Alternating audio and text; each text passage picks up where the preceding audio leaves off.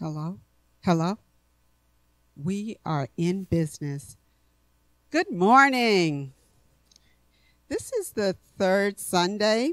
It's actually the fourth Sunday of Lent, but it's the third Sunday I've been on this teaching series about really looking at grief.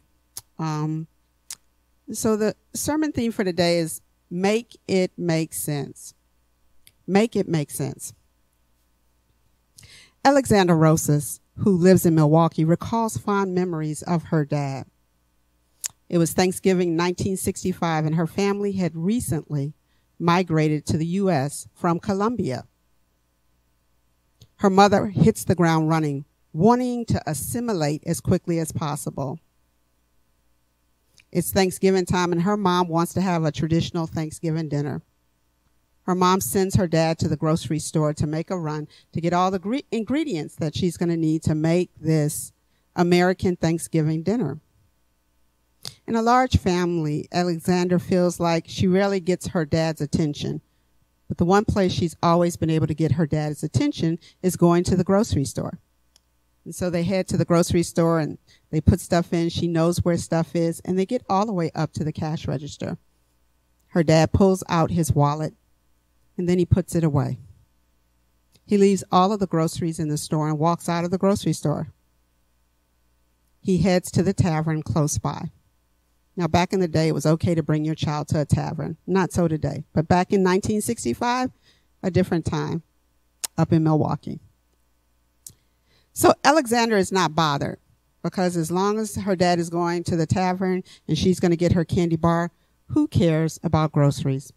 She's five years old. They go in the tavern. Her dad gets a beer and she's waiting for a candy bar. Her dad does not order the candy bar, so she kind of leans in and says, Dad, candy bar, you know? The dad doesn't say anything. So she thinks maybe her dad didn't hear her. And so she leans in again and says, Daddy, candy bar. Another man across the tavern hears her asking her dad for the candy bar. He has sympathy and he buys her the candy bar. She's torn because her parents have raised her that you never take anything from a stranger. So she's looking at the candy bar. She knows she wants the candy bar, but she knows she's not supposed to eat it.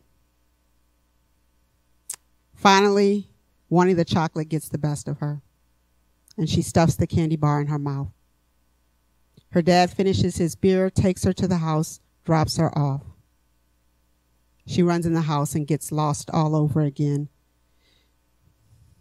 Later that evening, the cops pull up.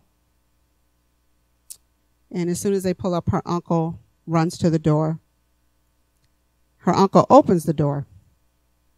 She hears the cop saying to the other cop, He did this to her with all these kids. Everything explodes.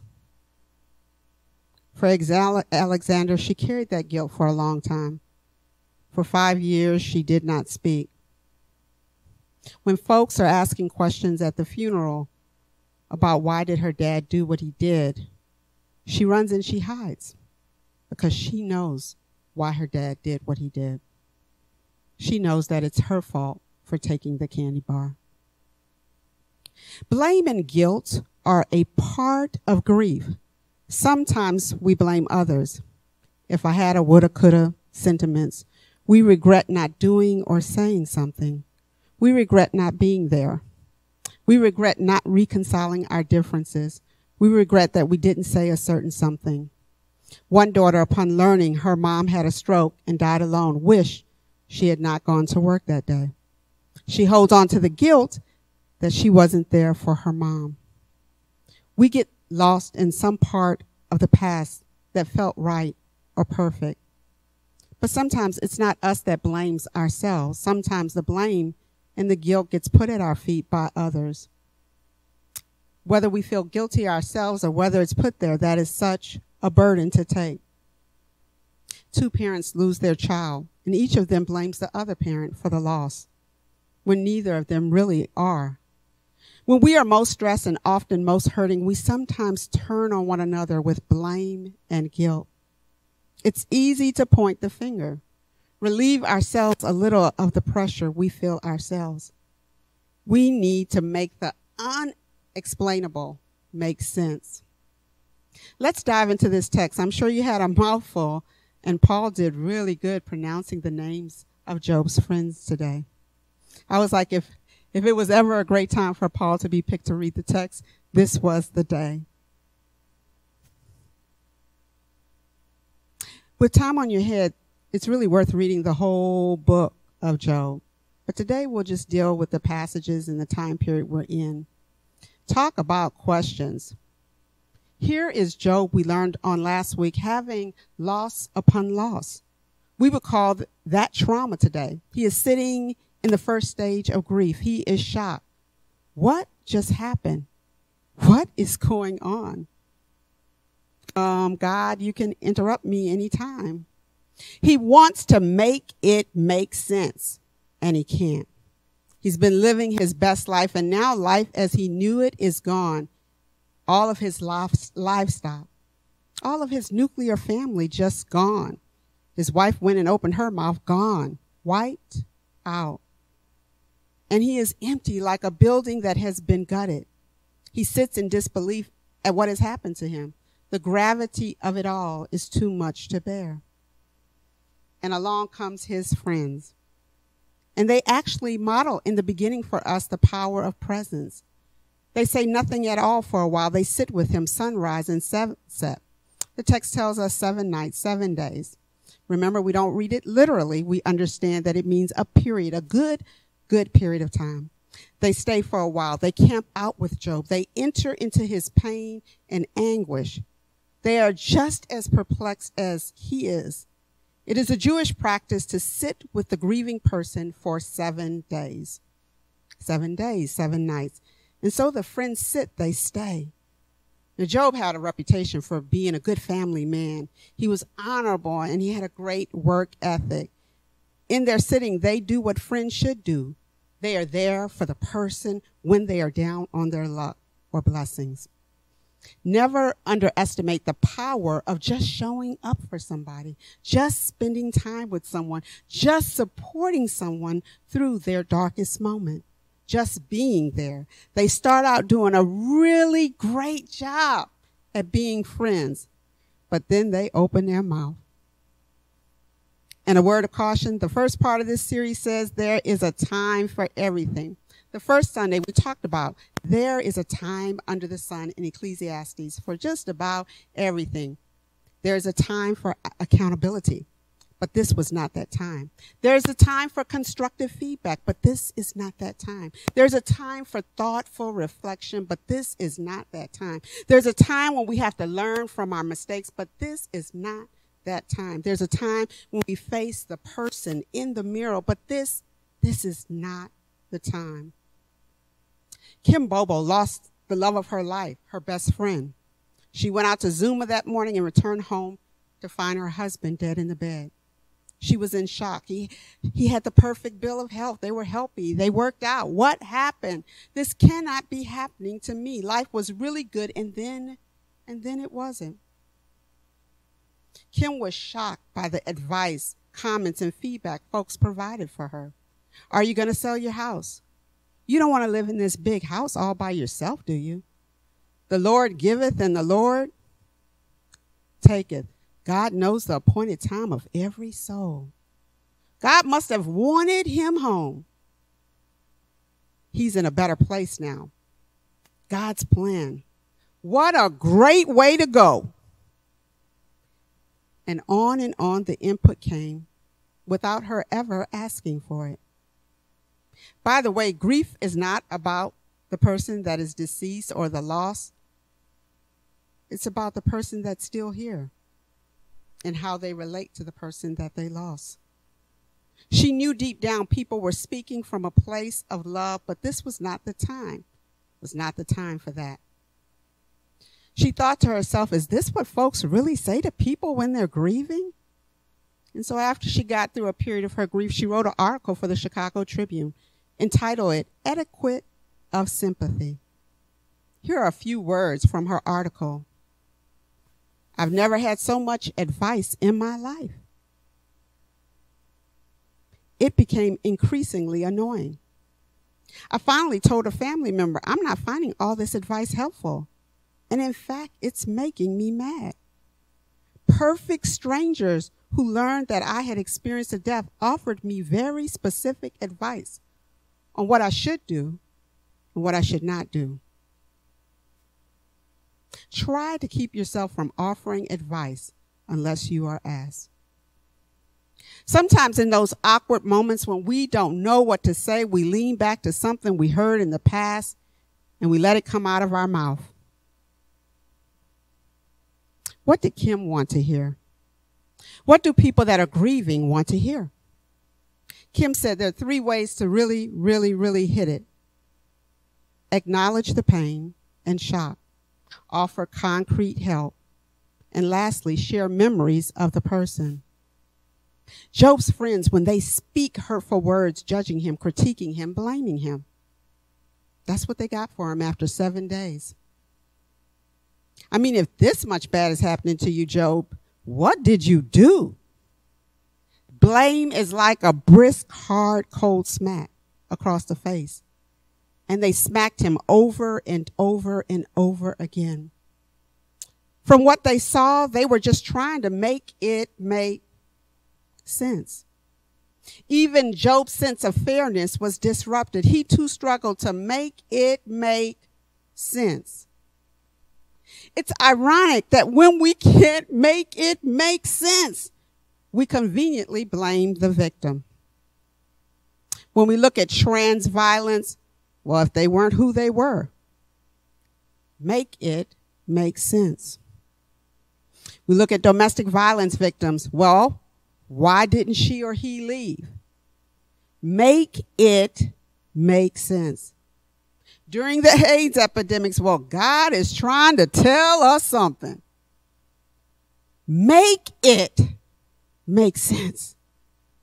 When people have hurricanes and tornadoes and two tsunamis and earthquakes and death is experienced, often all the body of Christ has to say, well, that's God's anger. God's mad with us. Make it, make it make sense. Over in the New Testament, a boy gets sick. His parents are seeking out Jesus for healing. Meanwhile, the community is trying to make it make sense. And so they ask Jesus, who messed up? The boy or the parents? In other words, who's to blame for this bad thing happening to this child? because the blame has to be put somewhere. Make it make sense. There's an old spiritual that says there are so many things about tomorrow I can't seem to understand. But I know who holds my future and I know who holds my hand. Forget about tomorrow. There's so many things about yesterday and today that I can't seem to understand. Our brains are laced with questions and tragedy and trauma and things that do not make sense. Maybe they never will.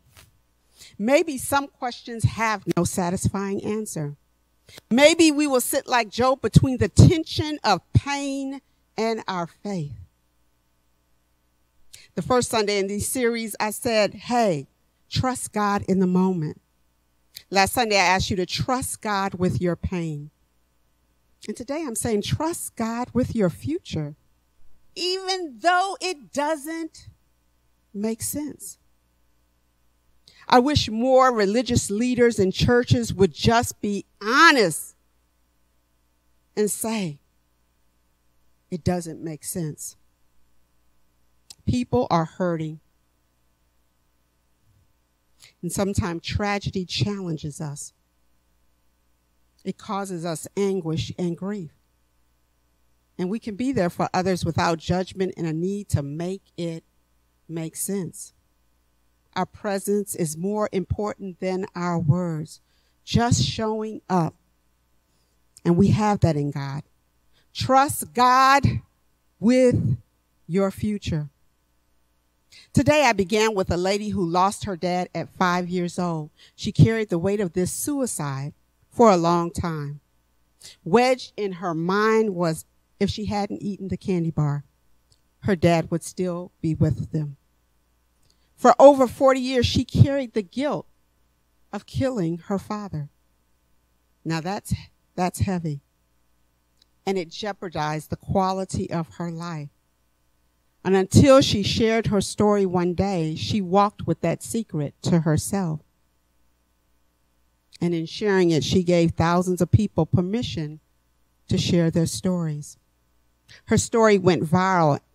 And because of her courage to be vulnerable, to speak the things that are taboo, others rushed forward with their stories that needed to be heard more than they needed to be understood. Grief, God's people, makes no sense. Losing a loved one hurts. Loss makes no sense. And like a too small shoe, it's dangerous. We, we try to force it to make sense. But do you know what makes sense? A loving, sympathetic God present to the plight of others. Do you know what makes sense? A community of faithful believers that show up again and again for each other. Do you know what makes sense? Arms and hands to hold others when they are hurting. Do you know what makes sense? Practicing love as an act of service. That makes a whole lot of sense. Do you guys know what else makes sense? Being present with others while they are going through. In the words of the Oriah Mountain Dreamer, the invitation, I want to know if you can sit with pain, mine or your own, without moving to hide it or fade it. I want to know if you will stand in the center of the fire with me and not shrink back. You know what makes sense? Acknowledging people's pain. Period. You know, want to know what makes sense? Being God's presence to those who are having it rough. Whenever and however. That makes a whole lot of sense. And trusting one day, now or later, that the person you will be able to trust with your future is God. That makes a whole lot of sense. Amen. Let us pray.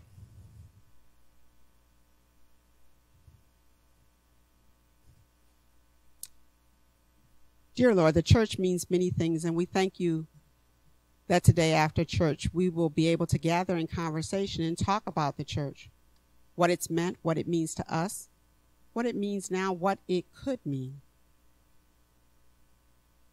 Dear Lord, all of us are on a journey and we are at different spaces on that journey. But we ask for your comfort and your peace while we are on this journey. And help us not only to be real about the joy and the blessings, but to be equally real about the trials, the temptations, the struggle, and the grief. And you who began a good work in us, continue to follow us and continue to be by our side. In Jesus' name, amen. Amen.